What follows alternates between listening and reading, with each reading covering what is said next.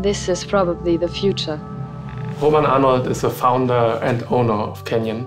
Roman supports our ideas very much, and that's why we are allowed actually to go a step further, and that's what we did here. We have to enlarge our horizon.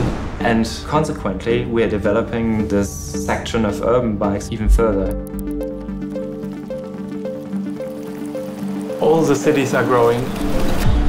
The space we have is rare, so we need to use it efficiently.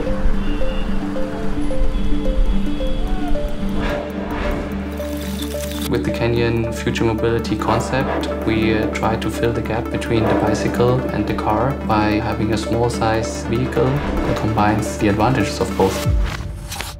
We started a pre-development project with the University of Aachen. We try to understand the specific customer needs. And this was our starting point for the whole project. A lot of people that are commuting to work, they demand weather protection. So the idea was to have a vehicle that can be fully closed during rain, but also can be opened later if the weather is good outside. The technology behind is e-bike technology. You are able to pedal this vehicle to a great speed. When you have a traffic jam in front of you, you can easily switch to the bicycle mode, go dynamically onto the bicycle lane, pass by all the people, and then traffic jam is over, you go back onto it and take the fast lane. It's really something we do for our environment and for our sustainability.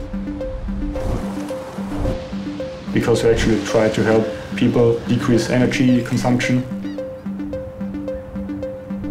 product is a whole system of function and aesthetics coming together. You can describe the design just by one line. It's ultra versatile, it's made for urban areas, and it's sportive. And it's a bike.